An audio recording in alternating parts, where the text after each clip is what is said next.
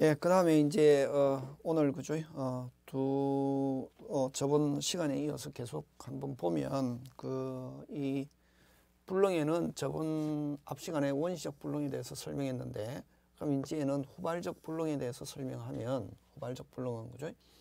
자, 후발적 불능은 일단 계약 자체는 유효하다. 한데, 근데 이제 이 후발적 불능이 누구에 의해서 이렇게 불능이 되었냐. 이런 채무자의 귀책 사유로 잘못으로 채무자 귀책 사유로 어, 후발적 불능이 되는 것을 이걸 이행 불능이다 이렇게 표현합니다. 하고 요 채무자의 귀책 사유 없이 예를 들면 갑자기 뭐 수혜가 발생했거나 어? 안 그러면 어, 계약 체결하고 난 뒤에 어, 수혜가 발생했거나 안 가면은 뭐 어, 원인을 알 수 없는 산불로 인해 가지고 그 계약 자체를 이행할 수 없게 됐다. 이걸 위험 부담이다 이렇게 표현합니다. 그죠? 어, 그거.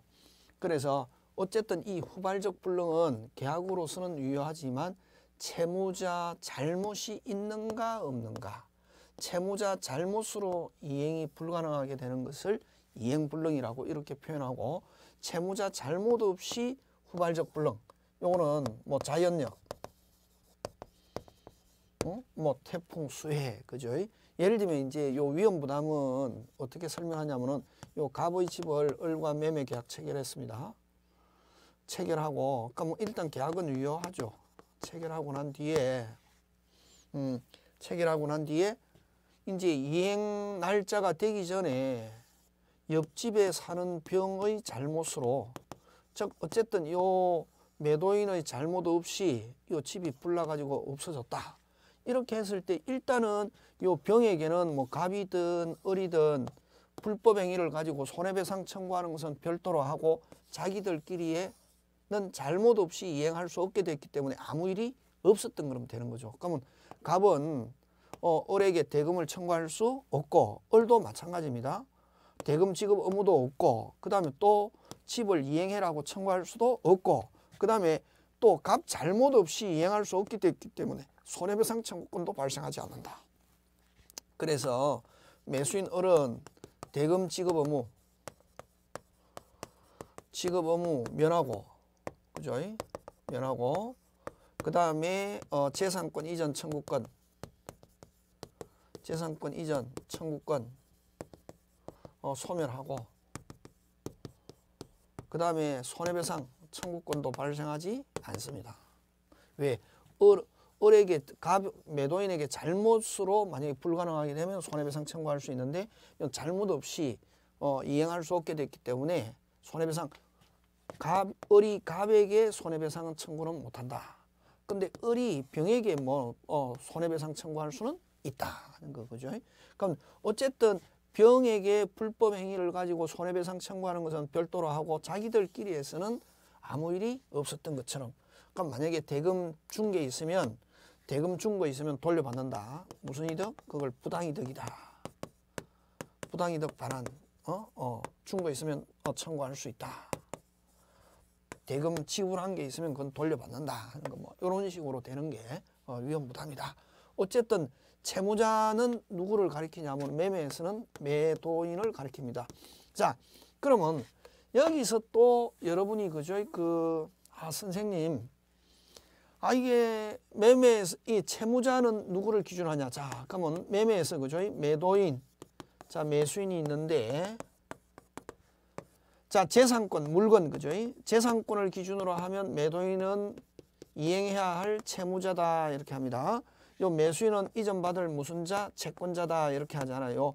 반대로 대금 을 이행해야 할 채무자. 요거는 어, 이, 어, 대금을 받아야 될 채권자 이렇게 하잖아요. 그래서 한쪽에는 채무 채권 반대로 채무 채권 되잖아요. 그러면 선생님 채무자다 하면 물건을 기준으로 하면 매도인이 채무자고 돈을 기준으로 하면 매수인이 채무자다. 이렇게 한 한쪽에서 어, 채권 채무가 반대로 채권 채무 되는 거 이걸 여러분 나중에 하겠지만 쌍무 계약이다 이렇게 표현합니다. 자 쌍무 계약에서 그러면 이런 채권자 채무자는 뭘 가지고 정하느냐 하면 항상 기준 헷갈릴 때는 여러분 그죠? 어떤 사람은 선생님 공부하다 보면 헷갈려요. 헷갈릴 때는 왜 헷갈리냐? 기준을 안 잡아서 헷갈립니다. 그럼 여기서는 기준이 뭐냐 하면 항상 재산권 물건을 기준으로 한다. 물건을 기준으로 하면 누가 채무자입니까? 매도인을 가리킵니다. 그래서 일반적으로 쌍무에서 채무자다 하면 누구를 가리킨다? 매도인. 매도인의 잘못 없이 후발적 불능 됐을 때 무슨 부담이다? 위험 부담이고 매도인의 잘못으로 후발적 불능이 되었으면 자 그러면 매도인의 잘못으로 이 집이 불나가지고 이행할 수 없게 됐다 하면은 매수인은 어 무슨 배상 청구할 수 있다? 손해배상 청구할 수 있다 하는 거죠. 그래서 자 여기서는 무슨 배상, 손해배상이라는 게 발생하지만 여기서는 무슨 배상, 손해배상이라는 게 발생하지 않는다. 무슨 사유가 없기 때문에 귀책 아까 앞 시간에도 이야기했잖아요. 귀책 사유가 없기 때문에 굉장히 중요합니다. 중요하고 그죠? 요거는 채무자가 잘못으로 채무자의 잘못으로 집이 불나가지고 어 집이 불나가지고 이행할 수 없게 됐다. 약속 못 지키게 됐다. 할 때는 매수인은 그죠? 어 손해배상 청구할 수 있다 없다? 있다 하는 거. 이때 손해배상도 앞 시간에 이야기했죠. 무슨 이익이다? 이행이다. 실내익 빼고 계약 체결상의 과실만 실내이고 나머지 어, 손해배상은 전부 다 무슨 이익이다? 이행이다. 이렇게 생각하시면 되겠습니다. 자, 그래서 그래서 그죠?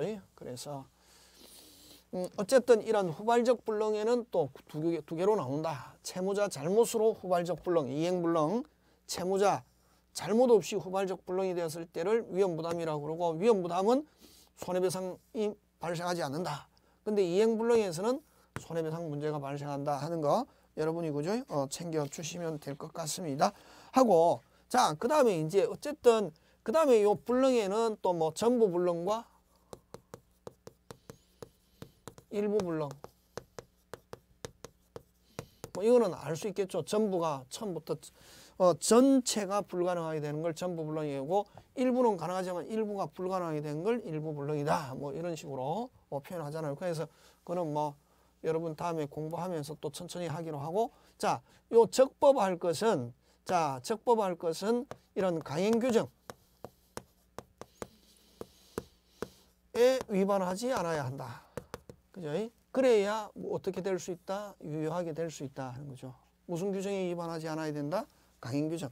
자, 그러면 이제 여러분 그죠? 그 우리 법에는 이런 강행 규정에는 크게 둘로 나눕니다. 학문적으로 그죠? 자, 강행 규정은 효력 규정과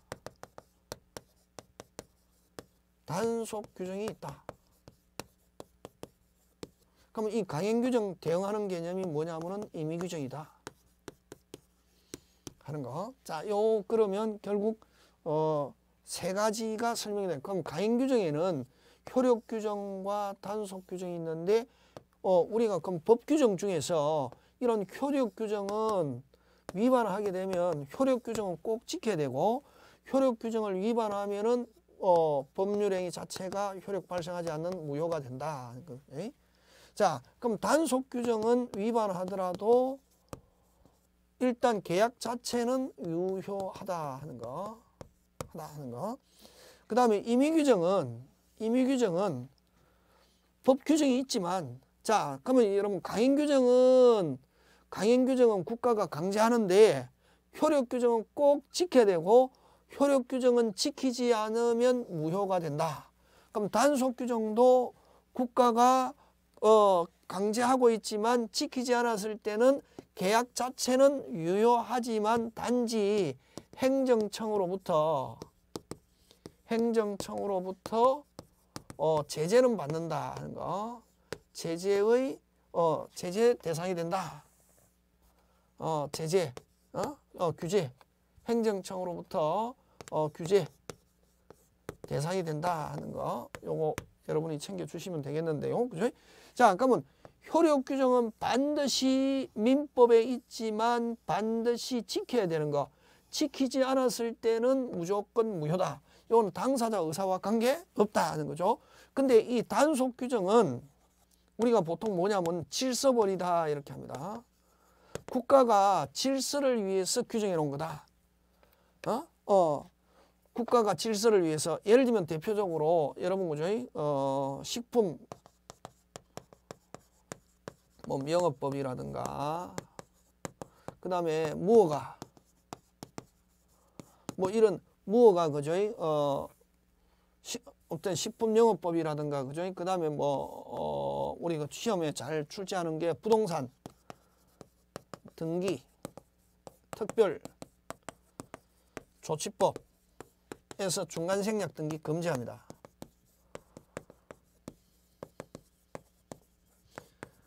금지했는데 만약에 그러면 예를 들면 이 중간 생략 등기라는 게 갑의 집을 을에게 팝니다. 그 계약금, 중도금, 잔금 받고 서류를 줬다. 그럼 을이 가서 바로 등기해야 되는데 미등기인 채로 바로 전매합니다. 병에게 계약금, 중도금, 잔금 받고 갑으로부터 받은 서류를 줘가지고 막바로 갑에서 병 명의로 등기하는 거 이걸 중간 생략 등기다. 그럼 을은 지금 뭘 안 냈습니까? 세금을 안 냈죠. 취득세, 등록세, 양도 어 양도소득세 이런 세금하고 관계되는 건 거의 대부분 이 단속 규정이다 이렇게 생각하시면 됩니다. 하면 되고 그 다음에 또 이제 무허가 무허가 신축행위 이런 거. 자, 국가가 뭐를 위해서 질서를 위해서 뭐를 위해서 질서를 위해서 항상 집을 짓고자 하면 국가에서 정한 기준이 있다. 우리 공법에서 이야기하죠, 그죠? 기준. 그럼 기준에 맞으면은 집을 지어도 좋다. 그걸 이제 허가라고 하잖아, 그죠? 허가 받아서 어, 집을 지어야 되는데 허가 받지 않고 자기 마음대로 이렇게 지으면은 이 질서가 이제 개판된다는 거죠. 그래서 이런 주로 단속 규정은 이런 질서벌이다. 그래서 만약에 그러면 무허가 신축 행위했다 하더라도 그럼 건물 지어졌다. 일단 나중에 국가가 알았다. 뭐 철거하기 전까지 뭐 철거하거나 이렇게 하기 전까지는 일단 지어, 지어졌다. 누가 소유권 취득합니까? 신축자가 무허가 건축해도 무허가 어, 건축해도 일단은 신축자가 소유권 취득합니다. 소유권 취득하지만 단지 행정청으로부터 뭐를 받는다? 제재를 받는다 하는 거 그런 거. 이런 어쨌든 단속 규정은 위반하더라도 그대로 뭐하다? 유효하다 하는 거.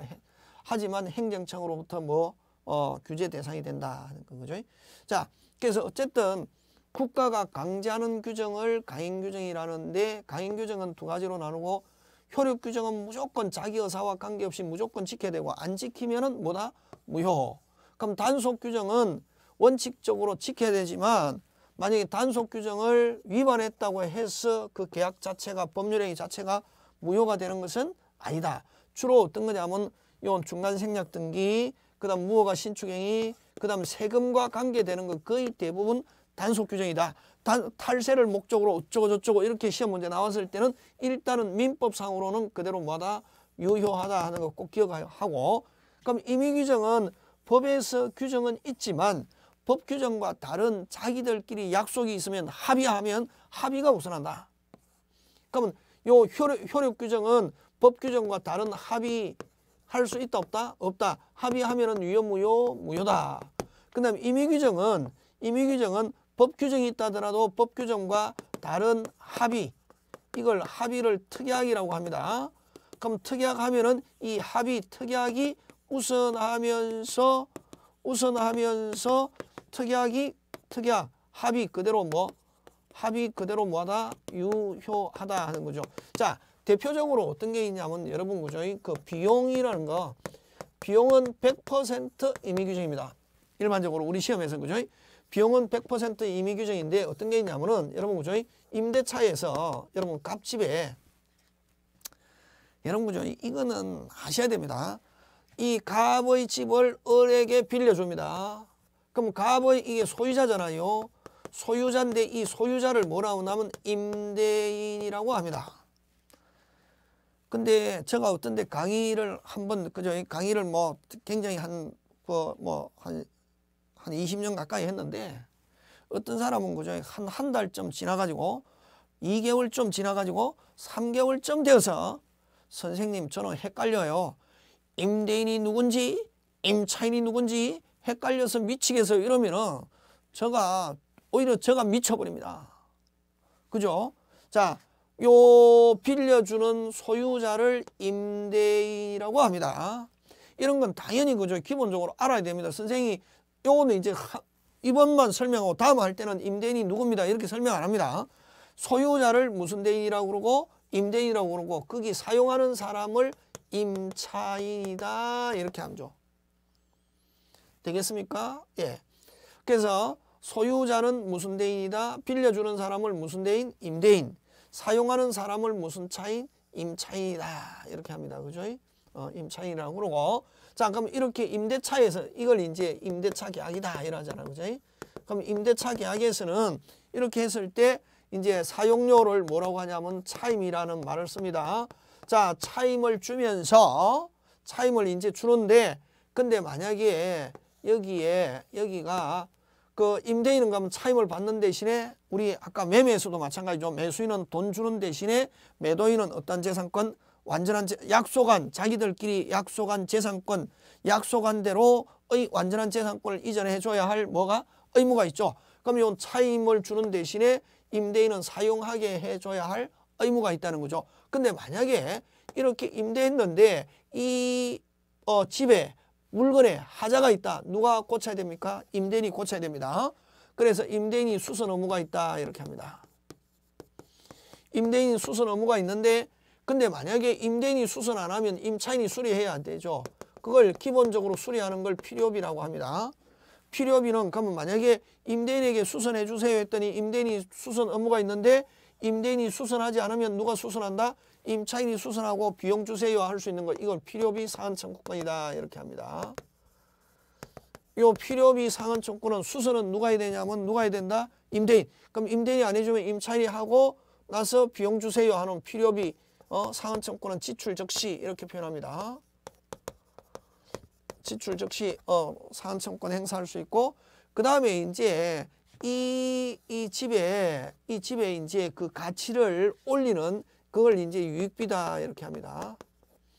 유익비 사안청권인데 유익비는 요 이제 이사 갈 때 종료 시에 종료 시에 상한 청구할 수 있다. 이건 이제 어디서 그래서 어쨌든 임차인은 필요비와 유익비가 들어갔을 때는 청구할 수 있는데 그럼 임, 그 임대차에서 어떤 기능이 하냐면 임대인은 이런 수선 의무에 의해서 임차인은 만약에 자기가 수리했거나 임대, 원래는 임대인이 수리해야 되는데 임대인이 수리 안 해줘가지고 임차인이 수리했을 때 필요비, 유익비 이렇게 상한 청구할 수 있는데 이 비용 상한 청구는 100% 무슨 규정이냐면은 임의 규정이라고 했습니다. 자 그러면 원칙적으로 법에서는 누가 임차인이 비용 청구할 수 있다 이렇게 되어 있습니다. 사용한 임차인이 비용 청구할 수 있다 이렇게 되어 있는데 근데 만약에 이렇게 청구할 수 있는데 이 계약할 때 임대인이 지금은 물건이 전부 다 완벽하고 이제 사용할 수 있는데 나중에 어 뭐 하자가 발 사용 중에 하자가 발 사용 중에 뭐 고장이 나거나 수리해야 될 상황이 발생할 때는 어 내가 원래는 법에서는 임대인이 책임지기로 돼 있지만 내가 책임 안 지고 어 어, 임차인 너가 수리해라. 가고 나중에 너가 수리하고 나서 비용 청구하는 거 허용하지 않는다 하는 특약을 할 수 있다는 거죠. 무슨 규정이기 때문에 그렇다? 임의 규정. 그러면 이게 그러면 자 임대인이 수리하지 않고 나중에 하자가 발생했을 때 누가 수리한다? 임차인이 수리하고 임차인이 수리했을 때는 비용 청구 못한다 하는 특약. 비용 청구 못한다 하는 특약 할, 하더라도 법에서는 청구할 수 있다라고 되어 있지만 특약으로 비용 청구 못한다 하는 특약 하더라도 그대로 뭐하다? 유효하다. 왜? 비용은 무슨 규정이니까? 임의 규정이니까. 이렇게 되는 되겠습니까? 예. 하고 그러면 이제 이 비용 청구 못한다 이걸 이제 우리 보통 판례에서는 어떻게 표현하냐면은 종료 시에 원상복 구 여러분 이런 단어는 꼭 기억해 놔야 되죠. 뭐 중개사를 하든 어 그다음 어 여러분이 이 집을 임대하든 간에 원상 복구하기로 약정 요런 단어가 시, 요건 여러분 다음에 시험 어 모의고사나 할 때 이렇게 잘 나옵니다. 원상 복구하기로 약정하면은 비용 청구 못한다 하는 특약으로 본다 하는 거 여러분이 그죠? 어, 그런 거 어, 챙겨 주시면 될 것 같습니다. 그래서 여러분 어쨌든 요 그러면 유효하려면은 적법해야 되는데 강행 규정, 강행 규정 중에서 무슨 규정에 위반하지 않아야 효력 규정에 위반하면은 무효가 되니까 효력 규정에 위반하지 않아야 뭐가 유효하게 될 수 있다. 그러니까 그래서 효력 규정에 위반하면 무효고 단속 규정은 아까 질서벌인데 주로 뭐 무허가 토지거래 허가 빼고 허가 무허가 이런 말들은 전부 다 단속 규정입니다. 세금도 단속 규정이고 시험 문제 잘 출제합니다. 그 다음에 대표적으로 잘 되는 게 무슨 생략 등기, 중간 생략 등기 금지하고 있지만 중간 생략 등기 했다. 그럼 만약에 국가에서는 이렇게 건너뛰는 걸 금지하고 있지만 만약에 어 중간 생략 등기 했을 때 효력은 그대로 그 등기는 그대로 뭐다 유효하다 하는 거 꼭 기억해 두셔야 됩니다. 그죠?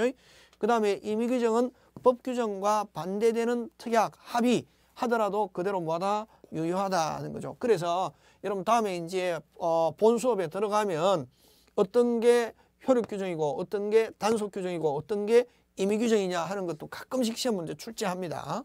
어, 그런 것도 여러분이 그죠? 어, 챙겨 주시면 될 것 같습니다. 하고 자, 그 다음에 이제 어 사회적 타당성, 사회적 타당성 잠깐 어 쉬었다가 어 사회적 타당성 설명하도록 하겠습니다.